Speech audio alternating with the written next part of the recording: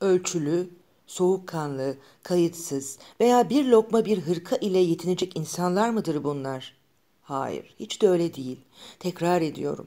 Onlar her şeye yeniden başlayan insanlardır. Akıllarına, dehalarına rağmen bir takım hevesleri, çocukça duyguları vardır. Her şeyi isterler. İyi veya kötü olan, insanın kanını tutuşturan veya donduran, uzakta veya yakında bulunan şeylerin hepsini. Ölçüsüz, aşırı insanlardır. Her türlü sınırı aşarlar. Bu dünyada ulaşmak istedikleri belli bir şey, bir tek şey yoktur. Her şeye, bütün duyguların tamlığına, derinliğe, bütün bir hayata ulaşmak isterler. Lovelace, Hamlet, Werther, Rene gibi zayıf yaratıklar değillerdir. Kasları çelik gibidir. Hayvani bir hayatın özlemini duyarlar. Yaşama zevkinin, şehvetin şu vahşi hayvanları olan karamazoflardır onlar. İçerisindeki içkiyi son damlasına kadar içmeden, kadehlerini kırmak istemeyen, aşırı derecede tutkulu ve ahlaki kuralları hesaba katmayan insanlardır. Tesadüflerin sunduğu her türlü iyiliğin ve kötülüğün birbirine karıştığı, sanki kızgın bir pota içerisinde eridiği ve ortada bütün evren için duyulan ateşli bir sempatiden başka bir şeyin kalmadığı yakıcı duygulara ulaşmak isterler. Amoklar gibi arzudan pişmanlığa, pişmanlıktan harekete, suçtan itirafa, itiraftan coşkunluğa doğru atılırlar. Hayatlarının sonuna kadar ağızları köpük içerisinde yıkılıp kalıncaya kadar veya bir başkası onları yere yıkıncaya kadar kendi kaderlerinin yolunda koşar dururlar. Nasıl bir yaşama susuzluğu vardır her birinde. Yeni bir millet, yeni bir insanlık dünyaya, bilgiye ve gerçeğe uzatmaktadır dudaklarını.'' Dostoyevski'nin eserinde rahat rahat yaşayıp huzur içerisinde gayesine ulaşmış olan tek bir kahramana rastlayamazsınız. Hiçbirisi böyle değildir. Hepsi ya uçuruma ya da en yüksek zirvelere doğru çılgınca bir koşu içerisindedir. Alyosha'nın dediği gibi ilk basamağa adımını atmış olanlar en son basamağa kadar inmek veya çıkmak zorundadırlar. Ellerini dört bir yana uzatırlar. Kanmak nedir bilmez onlar. Ancak sonsuzluk boy ölçüşebilir onlarla. Kuvvetlerinin her zaman gergin bir halde duran yağı, oklarını gökyüzüne, erişilmez olana doğru fırlatır ve atılan her ok, endişenin, tedirginin ateşi ile yakıcı bir hal alır. Bu endişe, bu tedirginlik büyük bir azaptır. Bunun içindir ki Dostoyevski'nin bütün kahramanları ızdırap çekerler. Yüzleri gerilmiş, kasılmıştır. Hummalar, nöbetler, ispazmozlar içerisinde yaşamaktadırlar. Büyük bir Fransız, Dostoyevski'nin dünyasını içerisinde sinir hastalarının yaşadığı bir hastaneye benzetmiştir. Gerçekten de önce çok garip olan bir çevre çıkar karşımıza. Pis pis içki kokan meyhaneler, hapishane hücreleri, kenar mahallelerin sefalet yuvaları, genel evlerin, pis ve sefil meskenlerin yer aldığı mahalleler. Ve Rembrandt'a has bir gölge ve ışık oyunu içerisinde karma karışık, kendinden geçmiş bir sürü insan yüzü. Kurbanının kanına bulanmış ellerini göğe doğru kaldıran katil, etrafındakilerin maskarası olan sarhoş, sokağın yarı karanlığı içerisindeki solgun benikli kız, bir caddenin köşesinde dilenen saralı çocuk, Sipirya'nın katorgasında yedi kişinin canına kıymış olan cani, hempalarının pençesine düşmüş kumarbaz, karısını kilitli kapısı arkasında bir hayvan gibi dört dönen Rogojin, kirli, rahatsız yatağında can çekişen namuslu hırsız. Nasıl bir duygu ve tutku cehennemi, ne içler acısı bir insanlık. Bu yaratıkların üzerinde yükselen bu Rus göğü ne kadar basık, ne kadar loş, ne kadar bulanık, ne karanlık kalpler, ne kasvetli manzaralar. Felaket ülkesinden, umutsuzluk çölünden, merhamet ve adaletin bulunmadığı bir araftan başka bir şey değildir bütün bunlar.'' Bu Rus dünyası bize ilk bakışta karanlık, karışık, yabancı ve düşman bir çevre olarak görünmektedir. Aşırı bir ızdıraf vardır orada ve dünya Ivan Karamazov'un korkunç deyimiyle en derin tabakalarına kadar gözyaşlarıyla ıslanmıştır. Şu var ki Dostoyevski nasıl ilk bakışta kaba saba, renksiz, çökmüş, beli bükülmüş bir insan olarak görünüyorsa, ama daha sonra alnının parlaklığı o bayağı çizgileri nasıl aydınlatıyorsa ve inanç bu yüzdeki derin anlamı nasıl ışığa çıkarıyorsa, aynı şekilde eserinde de manevi bir ışık cansız maddeyi aydınlatmaktadır.'' Dostoyevski'nin dünyası yalnızca bir acı, bir ızdırap dünyasıymış gibi görünmektedir. Bununla birlikte kahramanlarından her birinin çektiği acı, öteki kahramanlarınkinden yalnızca görünüşte daha fazladır. Çünkü Dostoyevski'nin yaratıkları duygularını başka birin biçime sokmakta ve karşıtlıklardan karşıtlıklara gidecek şekilde onları abartmakta, büyütmektedirler. Çektikleri ızdırap onların en derin mutluluğudur. Şehvete, yaşama zevkine karşı çıkan bir şeyler vardır onlarda. Acı çekmekten duyulan şehvet ile kendi kendine azap vermekten duyulan zevk. Sımsıkı yapışırlar bu zevke, onu bağırlarına basarlar ve bütün kalpleriyle ona bağlanırlar. Acılarına bu derece kuvvetle bağlanmamış olsalardı, acı çekmekten zevk duymasalardı, yeryüzündeki sefil yaratıkların en düşkünü olurlardı.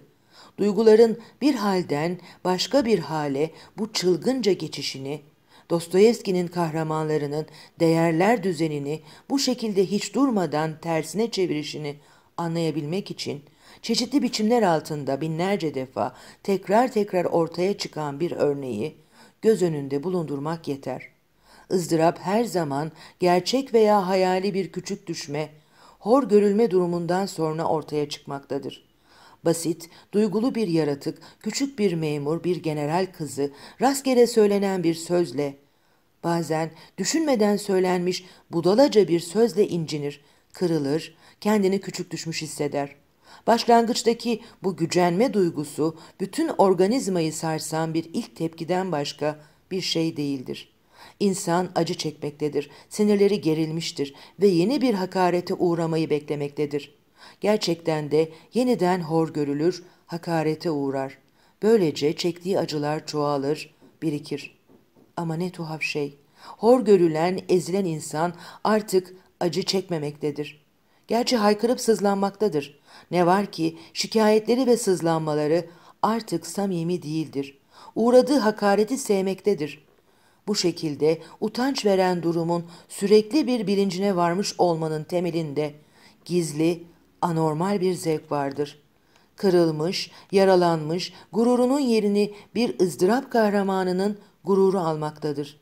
Yeni yeni incinmelere, yaralanmalara duyulan bir özlem ortaya çıkmakta ve gittikçe kuvvetlenmektedir. O bunu arttırmakta, tahrik etmektedir.'' Onu hor görmüşler, ona hakaret etmişlerdir. Ama o ölçüsüz insan tam anlamıyla boyun eğmektedir. Çekmeyi özlemekte, ızdıraptan haz duymaktadır. ızdırabına yapışıp kalmaktadır. Kendisine yardım etmeye kalkan her insan bundan böyle onun düşmanıdır. Küçük Neli doktorun kendisine verdiği toz ilacı üç defa onun yüzüne püskürtür. Raskolnikov Sonya'yı iter, kendisinden uzaklaştırmaya çalışır. İlyuşka, dindar Alyosha'nın parmağını ısırır. Ve hepsi de sevgiden, sadece çek, çektikleri acıya duydukları sevgiden ötürü bu şekilde hareket ederler.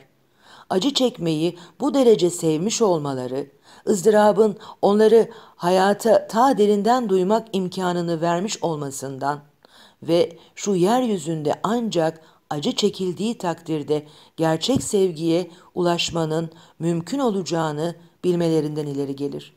Her şeyden çok ona bağlanırlar. Varlıklarının en kesin kanıtı odur. Düşünüyorum. Şu halde varım cümlesinin yerine acı çekiyorum. Demek ki varım cümlesini koymuşlardır. Şu varım kelimesi Dostoyevski ve kahramanları için hayatın zaferi, evrensel duygunun en üst derecesidir. Dimitri Karamazov hapishanedeyken bu varım kelimesine var olmaktan duyulan bu şiddetli hazda taşkın bir sevinçle kaptırmıştır kendini. Hayatı bu şekilde sevebilmek için acı çekmeleri gerekmektedir. Bunun içindir ki Dostoyevski'nin eserlerinde dile gelen ızdıraplar, öteki yazarların eserlerinkinden yalnızca görünüşte daha fazladır. Kefareti olmayan hiçbir suçun var olmadığı, her uçurumdan tırmanıp çıkmanın mümkün olduğu, her türlü felaketten coşkunluğun, her türlü umutsuzluktan umudun doğduğu bir dünya varsa işte o Dostoyevski'nin dünyasıdır. Çağdaş havarilerin hayatlarını dile getiren hikayeler, ruhun bedeni kurtarması ile ilgili efsaneler, hayata olan inanca dönüşler, fikir değiştirmeler, bilgiye, gerçeğe ulaşmak için tırmanılan yokuşlar, Dostoyevski'nin eserlerinde bunlardan başka bir şey bulmak mümkün değildir. Dostoyevski'nin kahramanları en son gerçek için evrensel olarak insani olan benlik için mücadele ederler. Birisi öldürülmüşmüş, bir kadın çılgınca aşık olmuşmuş. Bütün bunlar esas konu ile ilgili olmayan ikinci dereceden olaylardır onlar için. Vaka aslında insanın en derin katlarında, ruhta, manevi dünyada geçmektedir. Dış dünyada olup bitenler ancak işaret noktaları olarak, dekor olarak, mekanik unsurlar olarak rol oynamaktadır. Bütün trajedi içte geçmektedir. Engellere galebe çalmak, gerçeğe ulaşmak için mücadele etmek gerekmektedir. Dostoyevski'nin kahramanları Rusya gibi şöyle sormaktadırlar kendilerine. Kimim ben? Ne istiyorum? Kendi benliklerinin özünü zamanın, mekanın ve her türlü ilkenin ötesinde aramaktadırlar. Gerçeğe ulaşmak için bir ihtiyaç değildir, şehvettir. İtiraf en büyük zevkleri, ürperişleridir. İtirafta öyle bir kuvvet vardır ki bu sayede sıradan bir insan ilhamını tümüyle Tanrı'dan alan manevi bir varlık haline alır ve Tanrı'dan başka bir şey olmayan gerçek de maddi varlığından sıyrılır. Nasıl bir zevkle, ne büyük bir haz duyarak oynarlar bu itiraflarla. Raskolnikov'un Porfiri Petroviç'e yaptığı itirafı hatırlayın. Önce gerçeği gizlerler ve bu itiraflarını gizliden gizliye esrarlı bir şekilde açığa vurmak içindir. Daha sonra gerçek olandan daha fazlasını ilan etmek, çılgınca bir teşhircilik ile kendilerini çırılçıplak ortaya koymak, kötülükle erdemi birbirine karıştırmak için tam anlamıyla patlak verirler. Gerçek benliğe ulaşmak için yapılan mücadeleler aslında Dostoyevski'nin kendi bunalımlarıdır. Varlığın temelinde bir mücadele, bir destan vardır. Bize yabancı olan, Ruslara has olan her ne varsa eriyip gitmektedir. Artık bizim dramımız bütün insanlığın dramıdır bu. Kahramanlarının kaderi çok belirli ve heyecanlı bir hal almaktadır. Yeni insan efsanesinin dünyadaki her insani yaratıkta var olan evrensel insanın kendi kendine doğuşuna tanık oluyoruz. Dostoyevski'nin kozmogonisinde yeni insanın ortaya çıkışını kendi kendine doğuşun esrarı olarak nitelemek ve Dostoyevski'nin bütün kahramanlarının hikayesini bir örnekle göstermek istiyorum. Çünkü birbirlerinden bu derece farklı olan bu insanların kaderi aslında aynıdır. Hepsinde belli bir yaşama biçiminin değişik şekilleriyle karşılaşırız insan olmak için gösterilen çabanın değişik şekilleriyle. Dostoyevski'nin sanatının her zaman öze, esas olana varmak amacını güttüğünü unutmayalım. Uygarlığın bütün tabakalarının altında Dostoyevski'nin psikolojisi insanda hep mutlak insanı aramış, soyut insana ulaşmaya çalışmıştır. Yazarların çoğu toplumu bir takım tabakalara ayırmak zorunda kalmışlardır. Romandaki vakalar belli bir sosyal çevrede geçmekte ve bu çevrenin dışına çıkamamaktadır. Dostoyevski ise hep evrensel insana, tek tek insanların benliği içerisindeki evrensel unsurlara ulaşmaya çalışmıştır. Yarattığı insanlar her zaman insanlığın sınırına varmışlardır. Bu dünyadaki görevleri hep aynıdır. Hepsi aynı şekilde işe başlar. Tam bir Rus olarak hayati güçleri onları tedirgin eder. Ergenlik çağında duyuların ve düşüncelerin uyandığı çağda tavırlarındaki serbestlik ve rahatlık kaybolur. Neşeleri uçup gider. Kendi içlerinde gizliden gizliye gelişen bir kuvvetin varlığını sezmeye başlarlar koza içerisinde gelişen bir böcek gibi kendi içlerinde yavaş yavaş gelişen ve dışarıya çıkmak isteyen bir şeyin var olduğunu hissederler. Esrarlı bir döllenme onları hayal kurmaya sevk eder. Haberleri olmaksızın kendi içlerinde gelişen yeni insanın tohumudur bu. Yalnız başlarına yaşayan bu hüzünlü yaratıklar toplumdan kaçan yabani insanlar halini alırlar boğucu çatı aralarında köşelerine çekilerek kendi kendileri üzerinde düşünürler. Bazen yıllar boyunca acayip bir duygusuzluk hali içerisinde düşünüp dururlar. Aynı şeyleri kafalarında evirip çevirirler. Budistler gibi bir sessizlik, bir sükunet içerisinde yaşarlar. Tıpkı hamileliğin ilk aylarında karnında oluşan varlığın kalp atışlarını dinlemek için kendi üzerine eğilen bir kadın gibi. Hamileliğin bütün belirtilerini kendilerinde duyarlar. Histerik bir ölüm korkusunun, marazi ve zalim isteklerin, şehvetli ve sapık arzuların pençesinde kıvranırlar. Sonunda yeni bir fikrin kendilerinde filizlendiğini fark ederler ve bu sırrı çözmeye çalışırlar düşüncelerini ameliyat aletleri gibi sivri ve keskin bir hale getirebilmek için iyice bilerler ve kendi kendilerini teşrih ederler. Düşkünlüklerini, güçsüzlüklerini tahlil ederler. Aşırı derecede tutkulu konuşmalar içerisinde çılgınlığın sınırlarına varıncaya kadar beyinlerini yıpratırlar. Bütün düşünceleri belli bir sabit fikirde toplanır ve kendilerine çevirecekleri tehlikeli bir bıçak haline gelir. Kirilov'un, Şatov'un, Raskolnikov'un, Ivan Karamazov'un tek başına yaşayan bütün bu adamların kendilerine has bir takım fikirleri vardır ve onlar hastalık derecesine varan yalnızlıkları içerisinde bu fikirler üzerinde uzun uzun dururlar.